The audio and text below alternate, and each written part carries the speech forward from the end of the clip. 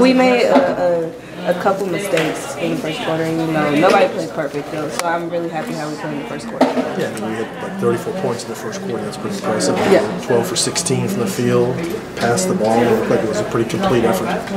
Yeah, I think so too. I think we came ready to play. We we had to. We knew that they were excited, you know, and they're a good team. And we knew we had to come out from the jump and, you know, step on their throats. They they hit 11 of their first 13 shots in the second half. What was you guys?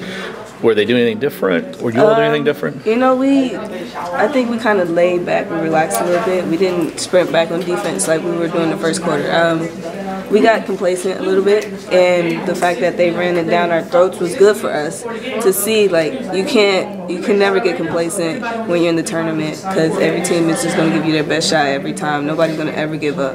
What was that crowd like? Oh, it was amazing. Um, our fans are the best in the country. I don't know how many times I could say it, and they're just always ready to cheer us on and just scream. It's just amazing. What about Myisha? She had a double double. I think she hit her first 10 shots, uh, kissed the floor on her way off. What, could you tell this game meant more to her since it was her Oh yeah, I mean this is her senior year. Her her game yesterday or the last game, it wasn't her best game. So she knew she had to come out and play aggressive for us. We needed her to win this game. We knew going in the post, they couldn't handle us in the post, and she did her job. She handled her game, and this was her last game on our floor, so she was very excited, and you could tell. She Could was you tell she was emotional? Uh, of course she's emotional. She tried to hide it like she just, mm. but we know she, she was very emotional and she was excited. When you get up against a team like this that starts four guards and physically is it's kind of a mismatch, how does that affect your strategy and what you try to do offensively? Every offensively, Yeah, mainly offensively.